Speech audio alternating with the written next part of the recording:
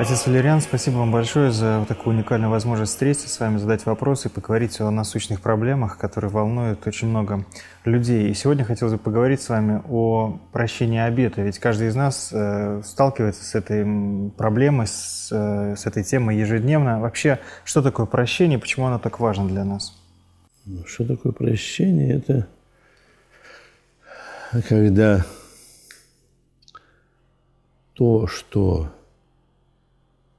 чем просит прощения, человек раскаивается, а тот, кто прощает, забывает навсегда. И не напоминает ни о чем больше другого. Навсегда, значит, все.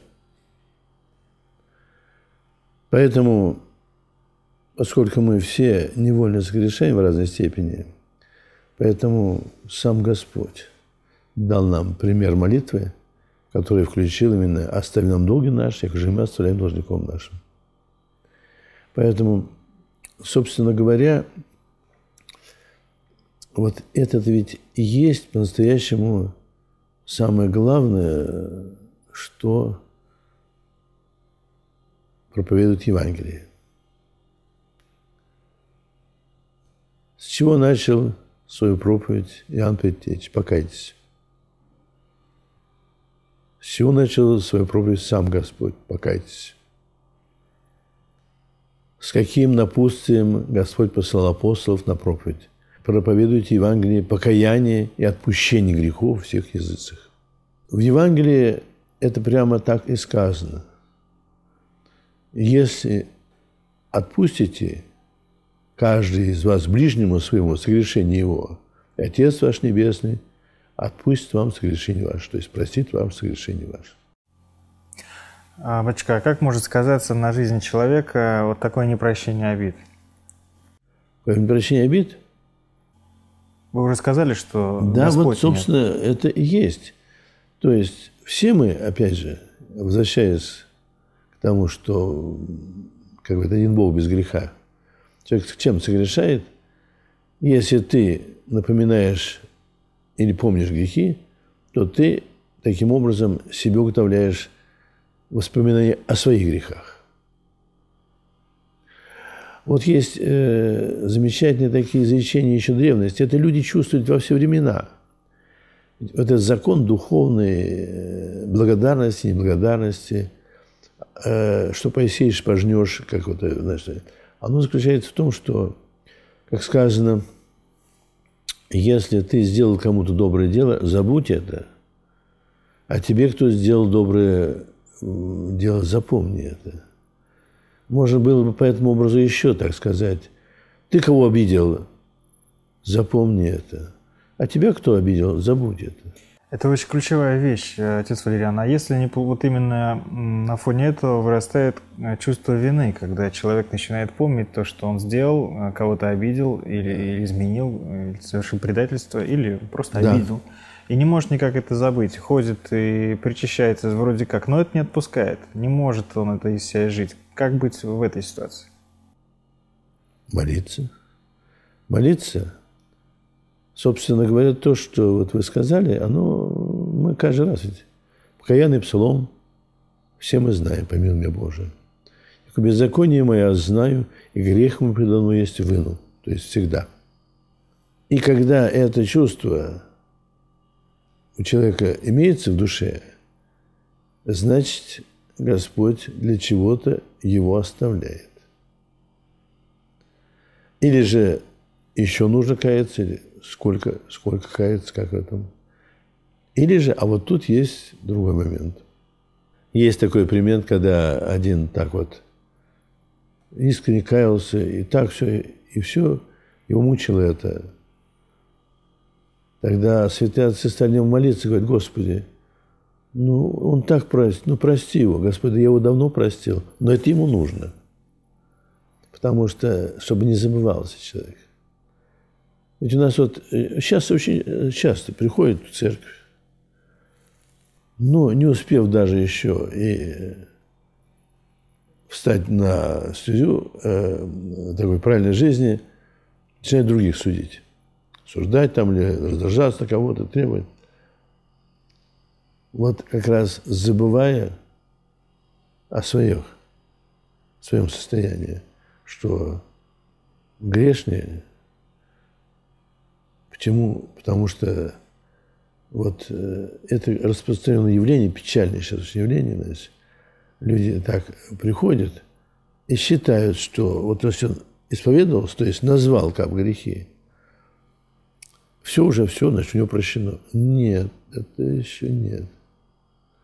Вот тут вопрос особый. Когда духовники, когда я был совет духовников епархии, так, как собрались и говорили, кто-то сказал очень хорошо. Я говорю, прощаю, Господь говорит, а я не прощаю. Потому что Господь видит расположение сердца и видит будущую жизнь человека. Если он искренне, да, Господь прощает, но если в дальнейшем он забудет об этом, что он сделал, и начнет опять грешить, то можете ему оставить пока, чтобы он чувствовал себя грешным. Святый Игнатий Бринчинов говорил в свое время, в одном не ошибешься, считать себя грешным. Это очень важно, потому что на самом деле отец Сергей Мечев, тоже священномученик, он считал, что важнейшей считается вещью, так сказать, духовной жизни важнейшей является именно стяжание покаянного чувства постоянного. Помните, Сысой Великий, уже лицо его просвещается, так что они могут смотреть на него. Братья говорят, неужели ты боишься смерти? Он говорит, он говорит не знаю, положил я начало покаяния. Если такие великие святые так держались за это, то нам тем более это необходимо. Ведь вся беда в том, что у нас сейчас стремился народ церковь, священство, но по канонам, как говорил отец Кирилл Павлов, многих нельзя допускать. До причастия или до священства? И, и до того, и до другого. Но, имея в виду милосердие Божие, как сказал в свое время отец Тихон Агриков, когда мне, нет людей недостойных причащения. Все достойны, потому что все равно все недостойны. Но если бы люди, которые приходили, они бы хоть помнили, что они-то грешные, и это чувство все время с собой бы имели в себе. Кстати, очень в этом отношении очень важный момент такой вот, э, который мне э, сказала одна наша прихожанка, Царство Небесное, она 30 лет была порторгом. Она в душе она была веру, конечно, ну так это. Потом она, она ухаживала за отцом Тихоном Пелихом, который старчик у нас похоронен. Ему она помогала, знаешь. И вдруг она мне выдает, говорит, я говорю, где, где уже она читала, что Господь допускает священников, хотя бы им не полагалось бы даже по их э, значит, вот, жизни для этого сана грешных, потому чтобы они были более милостивны грешникам. А вот продолжая этот разговор, хотелось бы спросить вас, а как быть? Вы рассказали про чувство вины и природу возникновения возможного этого чувства. А как быть, если человек по отношению к другому человеку сделал, ну, казалось бы, непростительный поступок? А, это может быть обида, это может быть воровство, это может быть предательство. А, все что угодно может быть. Да. И как в данной ситуации простить этого человека и простить его в сердце? Как тоже только молиться, но как все-таки вообще... Ну, вообще-то, э, видите, есть такое выражение, сердцу не прикажешь. Сердце не заставишь, можно стараться, нуждается опять же, все-таки, прежде всего молиться, но от себя стараться не думать об этом. Очень важно, потому что не думать о, о, той, о той обиде, которая, потому что есть у Дмитрия Ростовского такое поучение, когда э, приходит один человек, слышит, у другого случилось несчастье, он пришел его навестить, и тот говорит, я рад, что ты пришел. А тот говорит, а что у тебя случилось? Он говорит, знаешь что, я рад, что ты пришел, но лучше я не буду тебе рассказывать. Я начну все заново переживать и еще кого-то осуждать. Лучше мне что-нибудь расскажи, утешение, а это уж я не буду. То есть вот этот момент, Потому что когда мы часто перескажем кому-то, делимся, мы опять бередим старую рану, это прошло и все. Грех – это не бытие. И он уже прошел, и уже нет. Есть такой пример у святых отцов. Один человек вышел и впал в грех. Потом вернулся в свое э, жилище там сказал, и сказал, да, все, нет, ничего нету, как бы ничего не было. И стал дальше трудиться, забыв об этом. И было открыто, что он впал в грех и победил его. Даже так. Кстати, когда Господь прощает грех, то изглаждается память его. Из, э, из памяти изглашается это. Из памяти человека? Да. Вы очень так э, интересно рассказали про этот процесс. А, а как быть, когда человек... Вот вообще у вас огромный пасторский опыт. Расскажите, пожалуйста, у вас были такие примеры, когда вы видели человека, который совершил большой проступок? И этот проступок был очень сильно этим человеком как-то осмыслен, он э, очень долго об этом думал, переживал.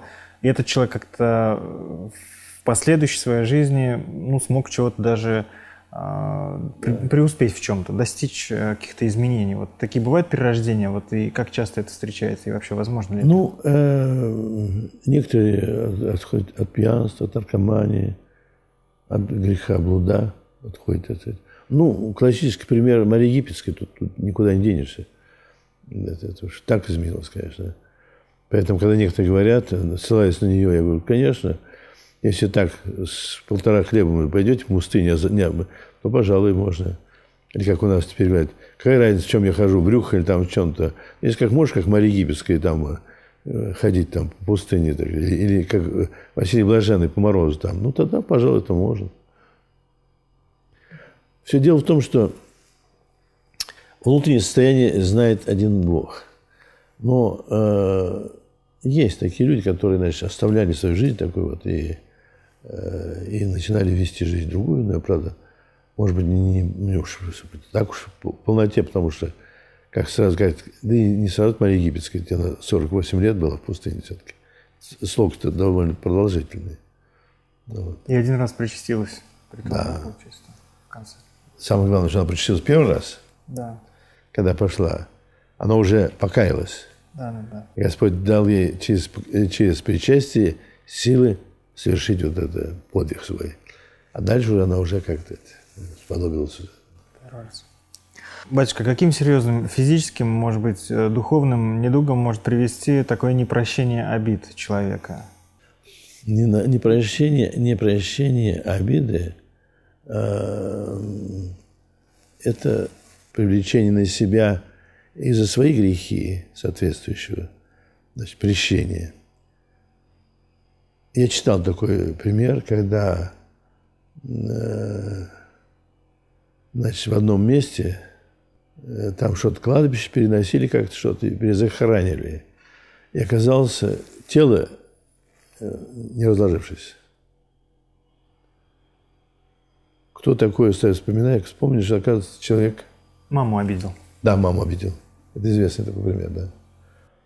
Она, она не могла умереть, пока она не простил его. Напросил, он тут же рассыпался. Непочитание родителей – страшный грех, между прочим. У нас сейчас очень это легко, это тяжкий грех. Бывает так, что в юности, батюшка, э, мы ну, иначе э, относимся к родителям, более легкомысленно, особенно школьный период и послешкольный период. А когда родители уже приходят в более преклонный возраст, когда начинаешь уже их ценить, э, по-другому относиться, возможно ли за вот этот вот период все-таки получить какое-то прощение и своим отношением к ним как-то человеку, ну, по крайней мере, как-то ситуацию исправить? Нет, я думаю, конечно, возможно. Так, так, а если невозможно, тогда для чего же тогда так все это? Нет, как раз и нужно это как раз э, исправлять. И тем более, что самые печальные последствия такого вот э, хранителя начинают проявляться в детях. И там еще ожидает такая же картина, э, но если они тоже опять не покаются. Вообще непочитание старших – это беда. Она, я никогда не задумывался, что она воспитана, оказывается. Как это ни странно, той гипотезы, которую долгое время преподавали в школах, которые, кстати, свою родословную видите от, от обезьяны. Согласно этой гипотезе, чем дальше вглубь предков, тем глупее. А там вообще, так сказать, скотина. То есть на подсознательном уровне школьник впитывал Совершенно себя? верно. Один человек э, приводил своего друга, который хотел, чтобы его дочь окрестила. Давно было все. Я говорю, вы ты? Я, говорю, материалист. Я говорю, непонятно, почему? Спрашиваю его друга, что же он? Он говорит, не может ней справиться, справиться с дочерью. Я говорю, понятно. Вот тогда я и понял, что по его философии он недавно с дерева слез, и чего он будет слушаться? Он еще недоразвитый. Кстати, с точностью наоборот, как есть, говорит Николай Велимирович. Он говорит, первые люди немного знали, но все понимали, потом знали знать больше, но понимать меньше. В конце много знать, но ничего не понимать. И это, видимо, и так есть. Очень применимо к нашей жизни. Да, да, да, да. Батюшка, как быть, когда человек начинает использовать чувство вины по отношению к другому человеку в каких-то своих целях, когда он начинает манипулировать этим чувством вины? Вот вы тут, вот, вот, вот, вот тут уже, так сказать, сейчас дали ответ на ваш вопрос. А что человек делает, как говорит Свет Николай Велимирович, кстати, в своей э, такой замечательной книге «Царев Завет», он говорит, все действия э, свыше по произволению. С какой целью? Есть, говорит, э, как один говорил э, э, духовный отец своим чадом, иногда нужно, говорит, смириться, да и погордиться. Не потому, что гордиться, а выдержать, это в воспитательном смысле. Ну, в воспитательном смысле это нужно бывает. Внутренние отношения. А внешне-то это может быть, равное отношение. Ну, вообще, конечно, вот это ну, с детства нужно закладывать. недавно сказала моя дочь, а у нее девять человек. Вот. Как вдруг ее младший сын, когда он разгневается, он говорит, я тебя не люблю. Я не твой сын. Даже так. А ему три года все. Она говорит, я тебя люблю. Я твоя мама. Но ходит, ходит, потом ему становится стыдно, он значит, просит прощения. Любовью можно. Это, как сказал мне Схиархмед Серафим, такой э, келейник, вот когда отец келейник митрополита Нестор был.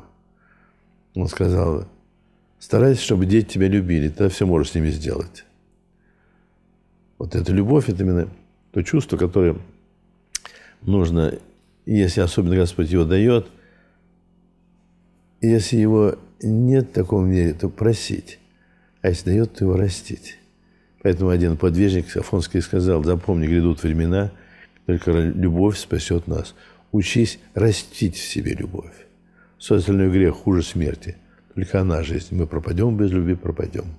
Нужно помнить, что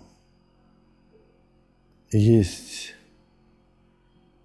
Чистота есть, к несчастью, нечистота. И поэтому сказано, признак сердечной чистоты – это не видеть грехи других. Бог – чистейший дух. Поэтому сказано, блаженны чистые сердцем, и те и Богу узрят. Человек не может увидеть Бога, и образ Божий в другом человеке, если он будет иметь нечистое сердце. Почему подвиг всех преподобных заключался в очищении сердца от страстей? Если око твое светлое, тело тело будет светлое. Если лукаво, все тело твое темно будет. Поэтому вопрос чистоты очень насущный. Почему и запрещено даже на исповеди подробно говорить о всякой нечистоте, особенно плотской, что она пачкает душу. даже когда рассказывают своему духовнику, это не нужно. Ни в коем случае не нужно воображать то, о чем говорится. Это уже начинает входить в сознание, в чувство. Человек пачкается. Поэтому вот именно и грех, как скверно, своя ли, чужая ли, ее в себе не нужно таскать. Есть такое изречение, когда мы молимся о других, то мы как бы елей носим в своих руках. И хоть он и протекает, но руки все-таки в елее. Когда, простите, мы мозим грязь в своих руках. Поэтому мы все равно пачкаемся в ней. Хоть она чужая грязь. Поэтому Пимен Великий, он говорил, видишь, брат, согрешающий, не верь глазам твоим. То есть смысл есть в том, что всякое нужно, всякое все нечистое нужно отбрасывать. И тем более не вспоминать.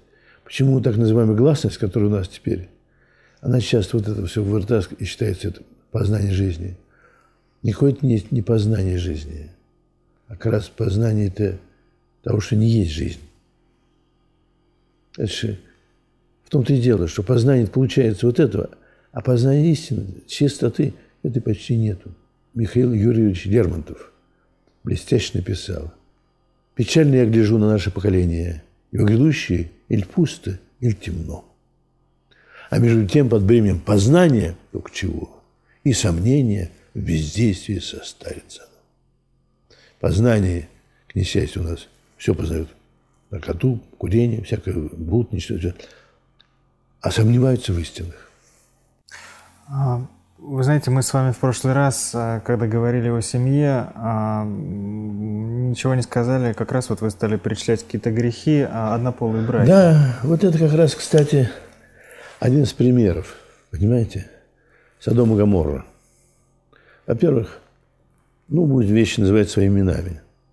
К несчастью, смысл многих вещей, он утерян, как сказал Сергей Николай Велимирович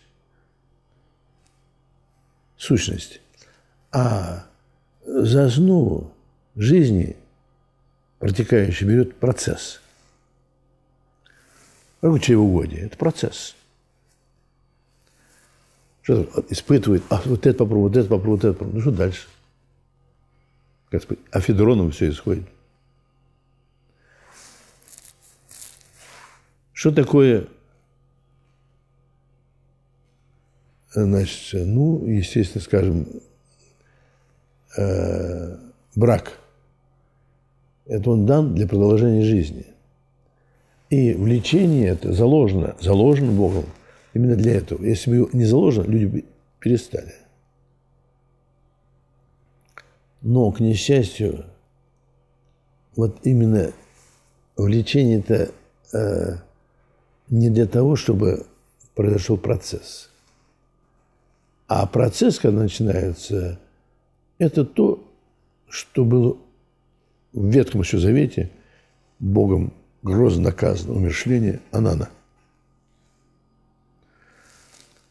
Анана. Это был процесс, а не продолжение рода. Скотоложество – это тоже. Мужеложество – это тоже. То есть процесс без смысла, без сущности –